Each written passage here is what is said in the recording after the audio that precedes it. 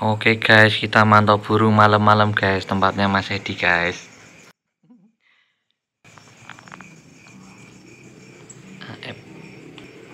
Nah, kita bawa guys.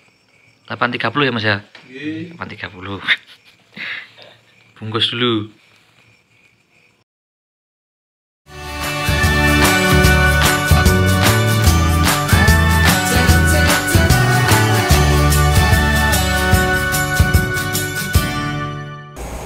Oke teman-teman, ini kita sudah sampai rumah. Ini hujan-hujanan tadi ya. Saya pulang kerja langsung ambil ini burung. Ini kita dapat dari teman saya. Semalam saya lihat storynya di WA teman-teman. Kayaknya kenarinya bagus. Lalu saya tadi pulang kerja langsung mampir aja nih. Tadi teman-teman udah lihat ya sekilas bunyinya kayak gitu. Ada goyang-goyangnya, serinya AF. Harganya 830 saya tadi dapatnya ya teman-teman ya. Langsung yuk kita unboxing dulu. Ini karena tadi perjalanan juga 20 menit ada tadi. Nyepeda teman-teman. Kita unboxing dulu. Oke teman-teman langsung kita buka yuk. Ini udah lama kita nggak bikin konten unboxing kenari seperti ini ya teman-teman ya. Lama nggak berburu karena kemarin kan kita fokusnya di kenari impor SF ya kemarin. Berhubung ini SF nya cuma tinggal 5 ekor jadi saya mulai berburu AF-AF lagi teman-teman ini kita buka dulu ya. Ini saya masih pakai seragam kerja loh ini teman-teman. Karena tadi belum sempat pulang. Dari pabrik langsung ke tempat kerja. Nah ini dia kenarinya. Seri AF teman-teman udah tahu sendiri ya tadi lihat ya dia bunyinya goyang. Ini mirip sama NKJR teman-teman. Saya deketin dulu kameranya. Untuk warnanya lumayan cakep teman-teman. Dia kuning. Ada bonnya sedikit di leher sebelah kiri. Nah ini ya ada bonnya dikit wajahnya ganteng kalau menurut saya teman-teman ya. Jadi dia ada ngalis-ngalisnya kepalanya agak gede dia pakai ring.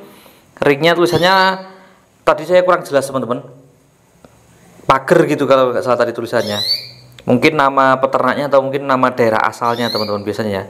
Nih warnanya seperti ini. Ini saja lumayan gede jadi mirip sama NKJR nah cuma sayangnya ini tadi bulunya kurang rapi teman-teman ya jadi di ujung-ujung sayap sama ujung ekor tuh agak kotor. Jadi nanti mau kita mulai rutin embun pagi sama dimandikan dulu. Ini burungnya gacor banget. Ini taruh di meja ya. Tadi waktu kita ngobrol di tempat si penjual kan taruh di meja. Nah ini langsung bunyi teman-teman. Nih burungnya enak banget. Ini rencana mau kita buat gantang karena saya ada feeling nih sama burung ini karena dia lagunya juga lumayan cakep gacor gampang bunyi terus tadi juga ada goyang-goyangnya dikit teman-teman. Nih ini kita taruh bawah ya. Jadi burungnya cukup cakep kalau menurut saya teman-teman ya. Cuman ini masih agak sedikit birahi juga. Karena mungkin di sana burungnya cuma dikit jadi jadi dia ketika nanti sampai ke sini kayaknya dengar burung lain langsung agak birahi teman-teman tapi tetap nggak apa-apa karena kita kan bakal poles. Ini nanti rencana buat gantangan karena kan saya udah lama banget nggak gantang ya udah nggak punya gacauan karena glowing dulu udah laku ramos laku tinggal punya NKJR aja. Cuman posisi NKJR saat ini saya titipin ke teman-teman ya. Nanti kita mau nyoba garap yang ini kita pakai buat gantang teman-teman. Saya ada feeling sih sama burung ini lagunya juga ada cengkoknya loh ini. Lumayan cakep untuk burungnya teman-teman. Tapi ini masih sedikit birahi jadi kita perlu turunin dulu birahinya nah burungnya kan enak tuh gampang bunyi. Ini malam-malam ini jam 8 malam teman-teman. Sampai rumah. Tadi dari tempat kerja maghrib mampir sekalian lihat burung ini. Ini kayak ada feeling sama burung ini teman-teman. Nanti kita buat gantang.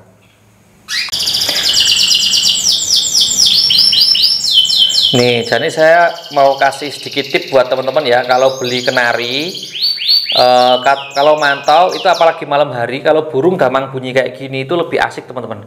Jadi nanti kalau siang hari pasti juga dia lebih gampang bunyi. Terus dia taruh bawah nih taruh di lantai kayak gini dia bunyi teman-teman. Nih taruh lantai kayak gini dia bunyi deket sama kamera seperti ini ya. Nah ini jarak saya sama burung cuma sekitar satu meter teman-teman. Nah ini ya. Burungnya enak ada goyang-goyangnya tapi dapatnya 830 ya. Kalau untuk burung ini nanti kalau udah jalan lapangan menurut saya ini murah harganya.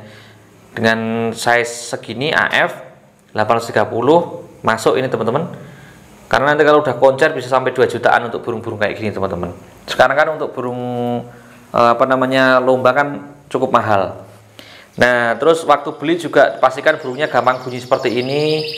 Terus dicek kakinya jari-jarinya utuh mata juga bagus paruhnya juga bagus.